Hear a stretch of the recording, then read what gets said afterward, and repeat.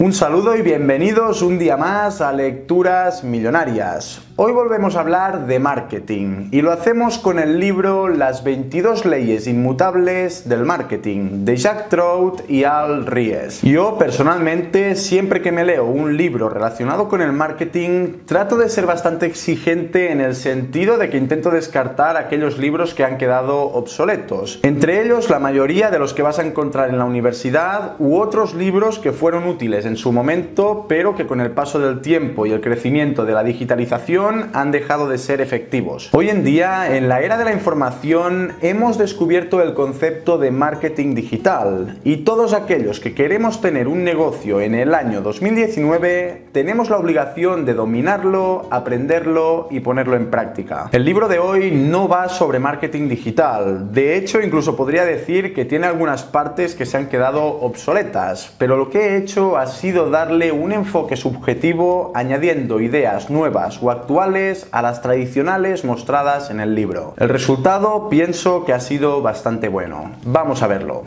1. La ley del liderazgo. Solemos pensar que la clave para el éxito de nuestro negocio es que seamos los mejores y que tengamos el mejor producto. Pero cuando realizamos esta afirmación nos olvidamos de algo. Tan importante es tener lo mejor como ser los primeros. Si conseguimos abrir un océano azul, convertirnos en los líderes en nuestro mercado desde el principio, y además le sumamos que ofrecemos un producto o un servicio excelente y de calidad, las probabilidades de éxito son altísimas. 2. La ley de la categoría.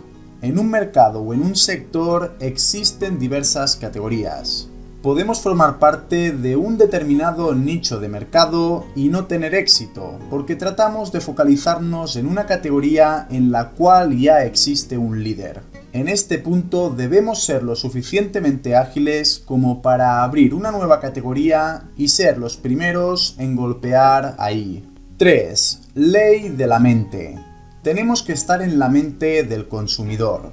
Ofrezcamos el mejor producto posible, Llamemos la atención en nuestras campañas de marketing. Cuidemos la imagen social y tratemos de diferenciarnos siempre, de manera que cuando el cliente tenga que escoger, le venga nuestro producto o servicio a la cabeza. 4. La ley de la percepción. La percepción es cómo nos ven los clientes.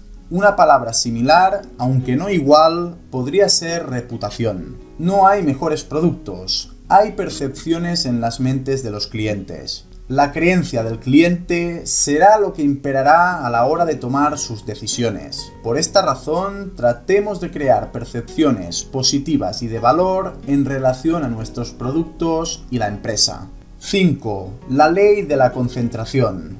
Intentemos que el consumidor asocie una palabra, una imagen o un color a nuestra marca. Por ejemplo, cuando escuchamos Just Do It, sabemos de inmediato que estamos hablando de Nike. Cuando nos hablan de aplicaciones para comunicarnos y nos muestran el color verde, enseguida lo relacionamos con el WhatsApp. De eso se trata, relacionar la marca con algo que nos identifique. 6. Ley de la exclusividad. Ser único, insustituible y diferente te hace exclusivo. Cuando tienes un producto o un servicio exclusivo, dominas el mercado. Trabaja para ser extraordinario. 7. La ley de la escalera. Entiende siempre cuál es el escalón que ocupas en la mente del cliente. Sé realista con esto, porque de ello va a depender que lleves a cabo una estrategia de marketing u otra. Si por ejemplo comienzas a vender ropa deportiva, evidentemente no estás en la misma liga que Adidas y por lo tanto tu estrategia inicial deberá ser diferente a la de una gran compañía que lleva muchos años en el sector. 8. La ley de la dualidad.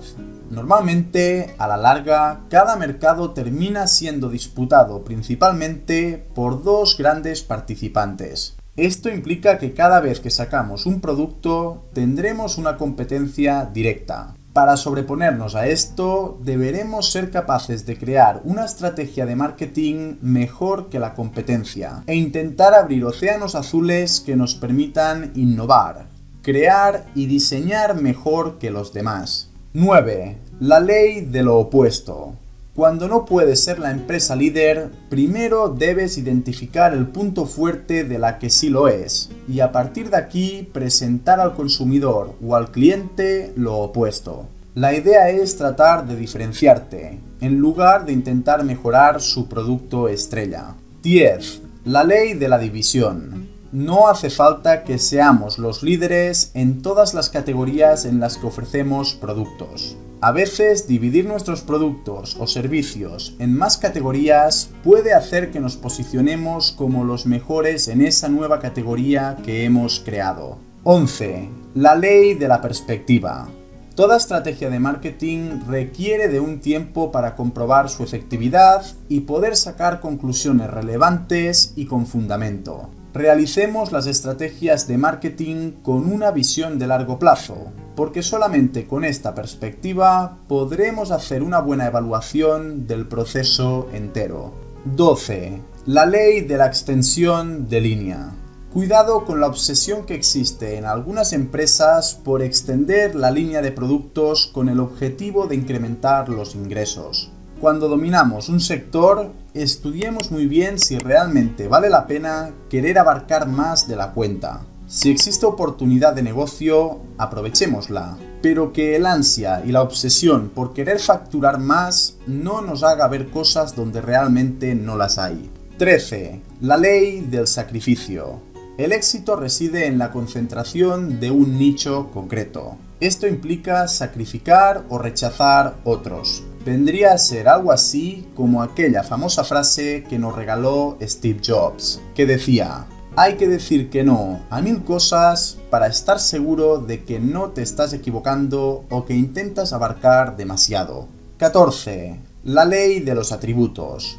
Piensa que para cada categoría de productos hay otra de contraria que es igual o más efectiva. La estrategia de marketing será fundamental para potenciar esta categoría alternativa. 15. La ley de la sinceridad.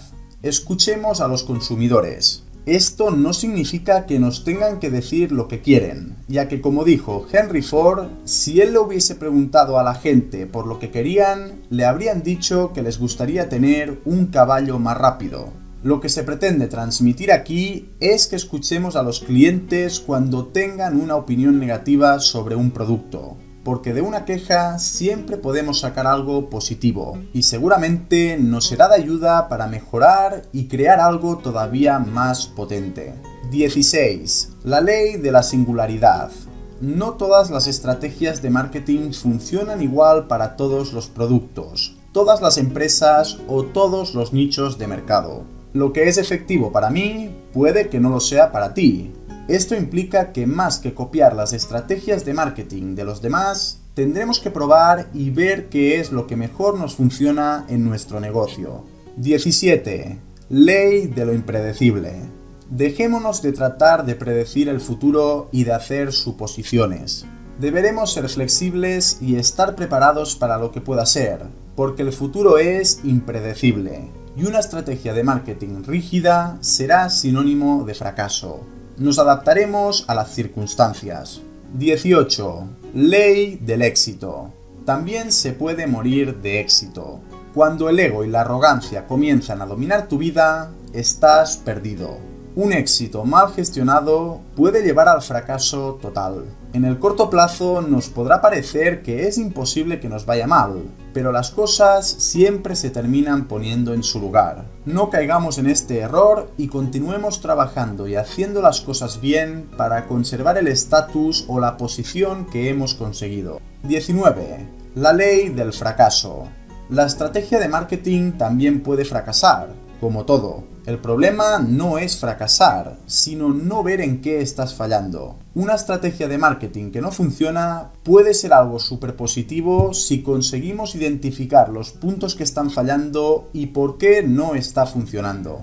20. Ley de la nota sensacionalista. Esto lo hacía muy bien Steve Jobs. Este hombre era un sensacionalista. Cada vez que presentaba un producto conseguía captar la atención de absolutamente todo el mundo. salía al escenario y solamente con la puesta en escena y sus explicaciones conseguía vender millones de dispositivos. A través del sensacionalismo podemos presentar al cliente una situación que realmente no existe o que es diferente a cómo la planteamos. 21. Ley de la aceleración. No nos focalicemos en las modas, sino en las tendencias. Una tendencia es un movimiento generalizado de largo plazo. Si nos podemos subir al carro de una tendencia y hacemos las cosas bien, seguramente tendremos mucho éxito. Y 22. Ley de los recursos. Nos guste o no, los recursos de los que dispongamos nos permitirán abarcar más o menos. Con más dinero podemos realizar campañas de marketing mayores. Cuando además tenemos los conocimientos y sabemos lo que hacemos, esto se convierte en algo brutal. Cuando no sabemos lo que hacemos, tener más dinero simplemente nos llevará a tirarlo o desaprovecharlo.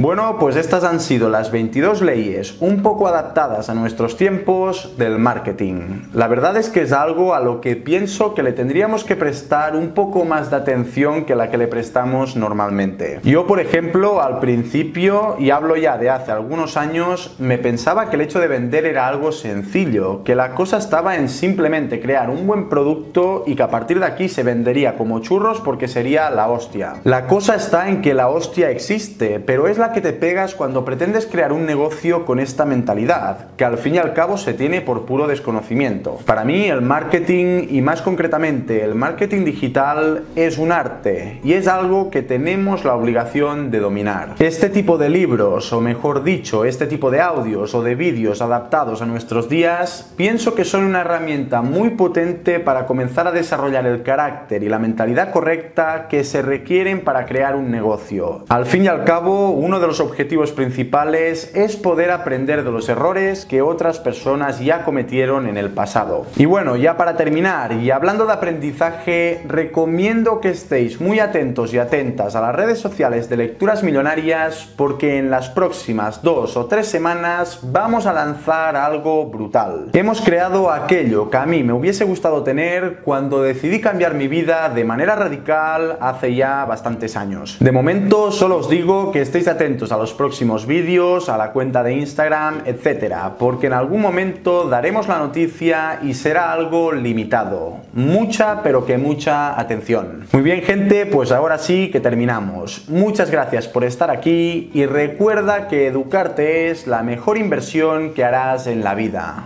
Un saludo y hasta el próximo libro.